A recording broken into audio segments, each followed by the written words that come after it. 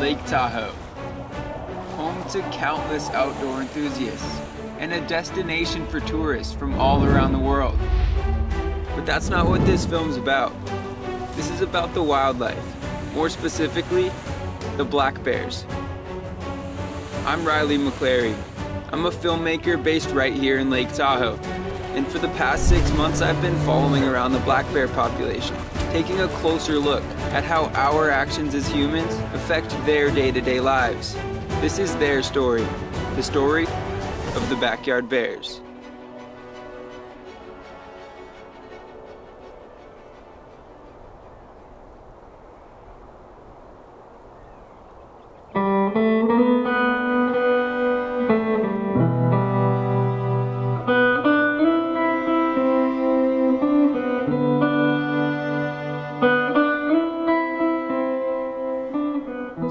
Here in Lake Tahoe, and high up in this pine tree is a black bear cub of the year. This is her mom. This past winter, she gave birth to two of these little cubs. These two youngsters will stay with their mom for about a year and a half, learning everything they need to know to survive in this wild world they live in.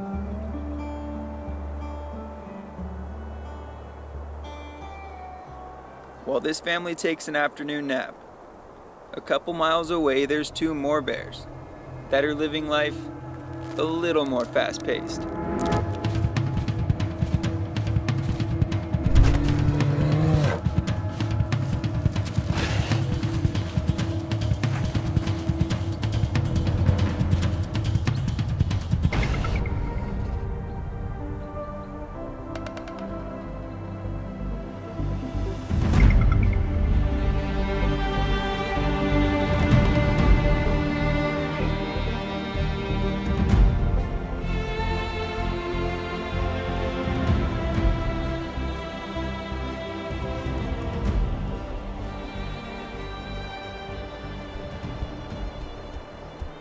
With that little friendly battle out of the way, it's time to gain back some of those calories they lost.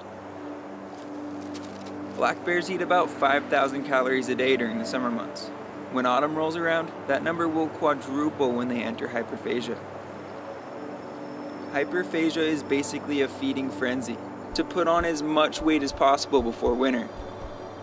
But during the summer, life moves a little slower, and their diet mainly consists of grasses, roots, seeds, nuts, and berries. Although that's what a black bear should be eating, they're very opportunistic and won't pass up much as far as food goes. And some of the bears here aren't going to waste all that energy foraging all day. As the sun sets, this is their time to go out on the town in search of any little mistakes us humans have made.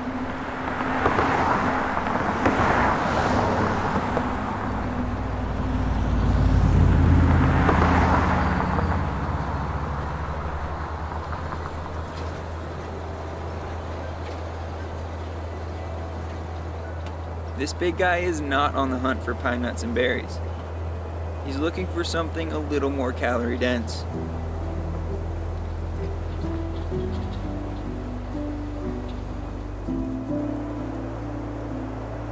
It doesn't take him long before he finds himself a non bear proof trash can for an appetizer.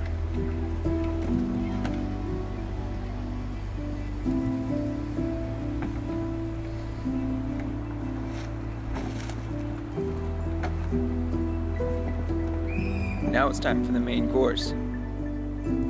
A dumpster at a local boat launch that should be locked, but was left wide open when the lake goers ended their day on the water.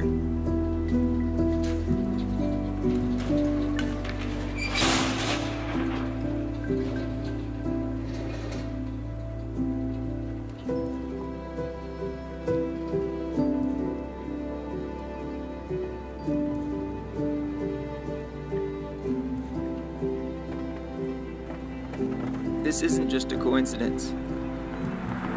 This happens all around the lake, day in and day out.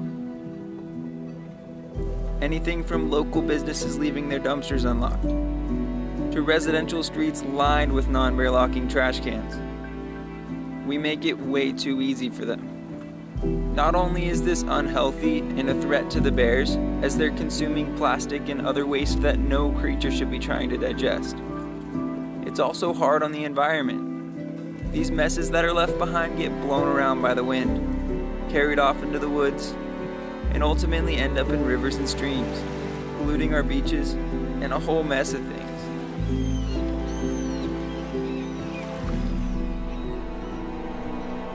Over in the town of Truckee on the north side of Lake Tahoe, a family of four black bears is waking up from a nap. Now it's time to head out in search of food. First stop, a backyard pond for a bath, of course.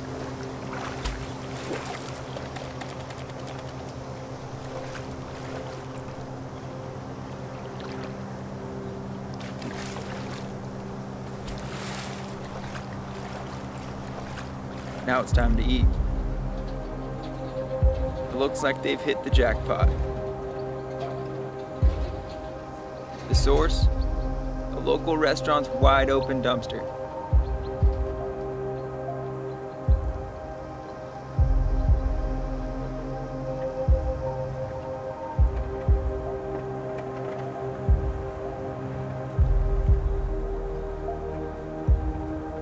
Once this feast has come to an end, they continue their search for food as these three cubs learn from their mom how to take advantage of lazy humans and their unsecured food. Perhaps the biggest issue of all is that this behavior we're encouraging puts the bears and our lives in danger.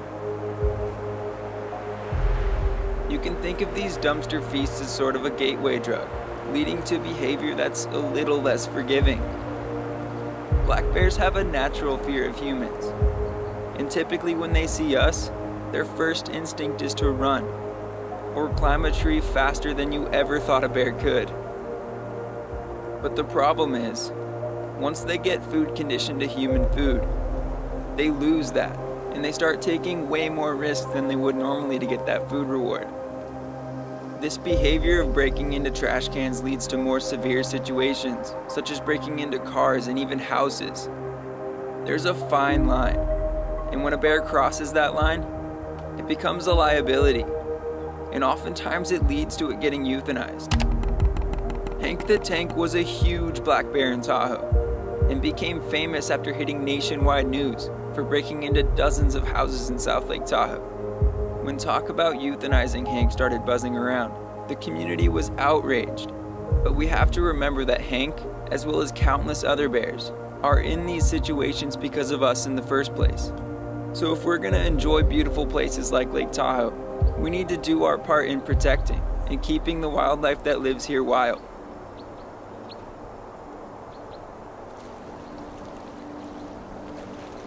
Come October, when summer turns to fall, an incredible natural food source is about to make their way upriver. But there's one problem. Due to low water levels, the salmon run is getting pushed back later every year. And right now they're stuck at the mouth of the river, waiting on the flow they need to start their journey up to spawn. At least someone's getting dinner out of it.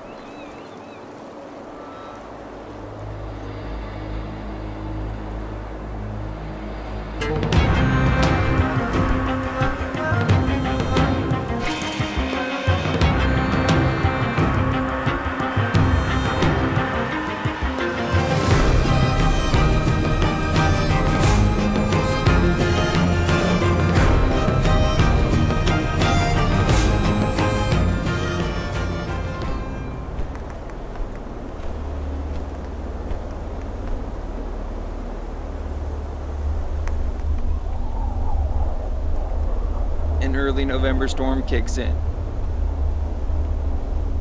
This storm has given the river the flow that the salmon need. It's exactly what they've been waiting for. These are the kokanee salmon. They were born in this exact same stream. For the past few years, they've spent their lives in the depths of Lake Tahoe, and their last adventure in life is to make their way back to their birthplace to pass on their genes to the next generation.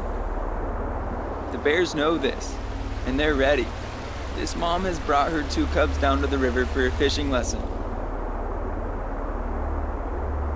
It's all about timing.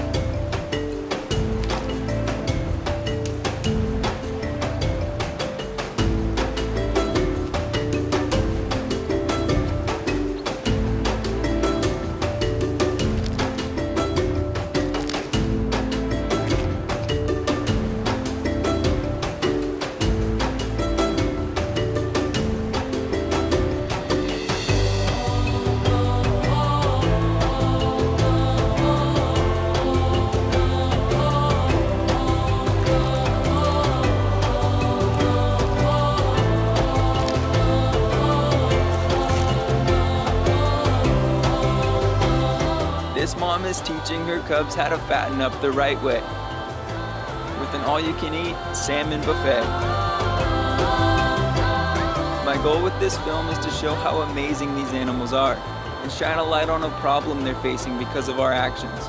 It's up to us to take responsibility and work towards coexistence instead of conflict.